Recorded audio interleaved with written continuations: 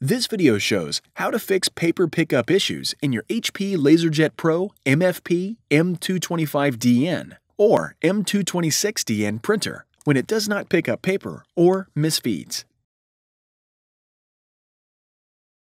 If the printer does not pick up paper or picks up multiple sheets of paper, check that the paper is loaded correctly and clean the rollers.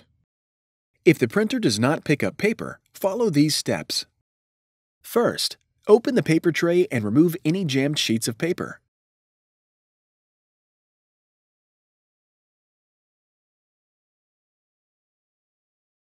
Load the paper tray with the correct size paper for your print job.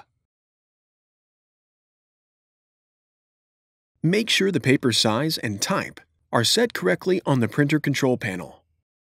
Slide the paper guides inward until they touch the paper. Do not push them in so far that they start to bend the paper. For specialty printing jobs, check the printer control panel prompts to feed the paper manually. Load the paper and continue.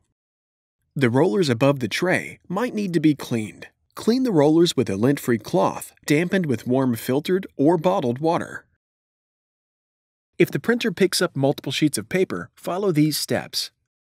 Make sure you're using HP paper and that the paper is not damaged.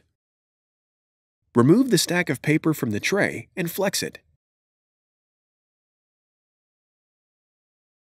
Rotate it 180 degrees and flip it over. Straighten the paper by tapping it on the table, then return the paper to the tray. Do not overfill the tray. The paper guides should rest on the edges of the paper without bending the edges. Check that the guides are positioned correctly.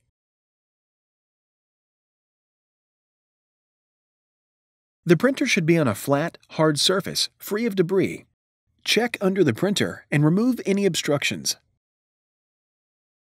Follow these steps to clean the document feeder rollers and separation pad. First, lift the ADF input tray. Wipe the pickup rollers and the separation pad with a damp cloth to remove dirt. Use only warm filtered or bottled water to dampen the cloth. Do not place liquids directly on the glass or platen. They might damage the printer. Close the ADF input tray. You can find additional helpful videos at hp.com forward slash support videos and on our YouTube channel, youtube.com forward slash HP printer support.